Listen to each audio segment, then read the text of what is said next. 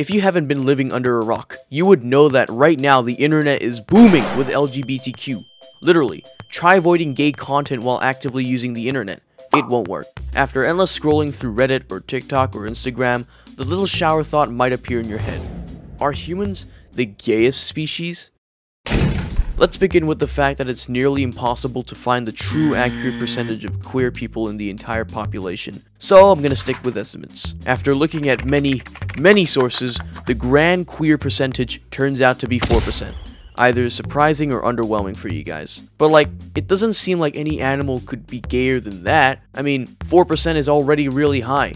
It basically means that if you had a room with 25 people in it, it's very likely that at least one person is queer. What other animal species could possibly top that?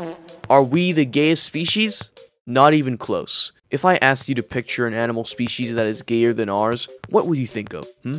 Well, I would bet none of you pictured this one species, and it is penguins. Penguins have been observed to have a queer percentage that is more than double our species at 10%, which is even higher than one of the iconic symbols of LGBTQ, the lion. Lions only have an 8% queer rate, but it is already literally double that of humans. A rather wholesome story is that in a Danish zoo, a gay penguin couple had successfully adopted a baby penguin. Despite all of this, penguins are still nowhere near the top in terms of gayness, as this next animal dominates both lions and penguins in their queer rate. It's ducks, more specifically mallard ducks. These curvy creatures are among the gayest animals in the bird kingdom, coming in at a queer percentage of 19%. Most mallard ducks aren't exclusively gay though. Most mallard ducks still play their role in increasing the population of their species. When a female mallard duck lays its eggs, the male mallard duck can see that its job is done and they move on, potentially becoming gay. Another animal that is slightly gayer than mallard ducks with an average queer rate of 18 to 22% are sheep. Yes, sheep. To be specific, two thirds of the percentage are actually bi, though. Only 8% of the total sheep population is completely gay. We can clearly see that as a species, we are almost nothing compared to other animals in terms of gayness. However, there is still one way we can compete using the queer percentage of some certain groups of people. Let's face it, some parts of the earth are gayer than others, and not every part on earth accepts LGBTQ and lets them flourish, which we're never going to ever discuss. Another big factor is that some communities cater more to queer people than others. So I've searched far and wide for the community that isn't exclusively a queer community, but has a high queer rate. After many days of searching, I found the perfect oyster.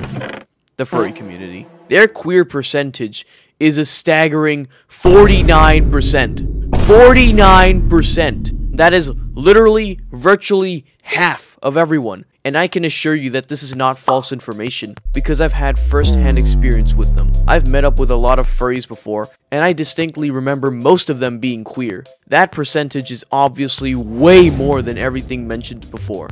There is no way any species on Earth could top furries, right? Wrong. I'm just gonna skip over to the gayest species in the entire world. In nature, this species has an enormous gay rate that ranges all the way up to 94%. Just like their gay percentage, their size is also massive, being taller than most trees. Finally, their native land is in Africa. The gayest animal in the entire world is a giraffe. Okay, seriously, how? How are giraffes this gay? Well, Let's go back and start off with humans as the foundation. Oh yes, question. Isn't it weird how organisms can be gay at all? Not to be rude or anything, but evolution and natural selection should favor straighter animals as they produce the most offspring. Why is that? That is exactly what we are going to get into.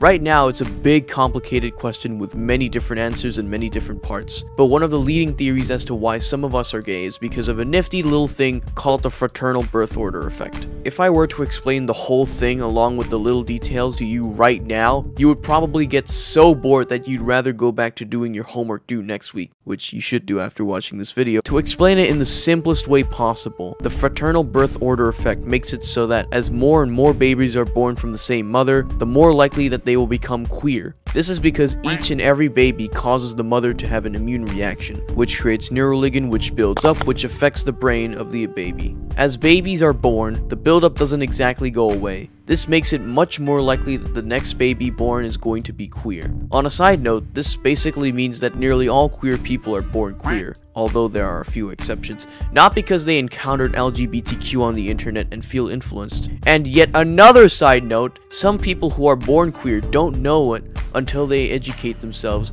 and discover themselves through the internet. They might have found a post or a video that genuinely resonated with them. In case you had forgotten, we are currently talking about the fraternal birth order effect. So, it must make sense that this effect also applies to giraffes, but on a much larger scale, right?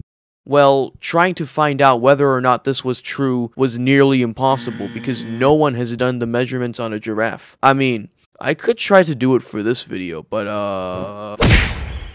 Jokes aside, there is one more theory that might explain why giraffes are this gay. Back in ye olden days, when mating had just been brand new, it was easier and less costly for brains to not be developed to identify males from females and females to males. This is why gender recognition in animals was a thing that existed way later. In certain species, this method of reproduction can be extremely bad, and thus natural selection favored gender recognition in that particular species. However, in other species, this is not a disadvantage at all. In fact, it could have been a massive W. One of the major benefits of this is that animals can spend less time checking who's male and who's female, and more time mating and reproducing. In certain circumstances, being picky about mating with a specific gender can actually make the animal miss out on real reproductive opportunities oh, as they waste too much time. Because this was a big advantage in certain species, the characteristic got carried along through evolution, through time ending up all the way to present day. And yeah, that is currently the best answer science can give us as of right now. A full, clear, and concise answer as to why giraffes are this gay is just not possible yet. There just aren't enough experiments that have been done, and this is where I leave it up to you. Now, I'm not saying you should go out, go to a giraffe and start monitor. What, what are you doing? Anyway, this is where I leave it up to you. If you actually found the topic in this video intriguing and you want to know more and learn more, you should embark on your own journey. Oh, and if you are doing this, you should like, like, like the video because you must have liked it, right? Right? The reason why you should be exploring this topic yourself is because this video is just a massive simplification of the complicated nuances of the animal kingdom. Anyway, one last thing before we go. Here are the honorable mentions. Rams at 8%, killer whales at 50%, sea lions at 80%, bonobos at 75%, western gulls at 15%, Guinea and Congo rocks at 40%, young bisons at 50%, albatross at 30%, and finally, swans at 20% humans just can't compare. So yeah. Oh, what's that? Oh, oh, okay. Y yeah, you should you should totally do that.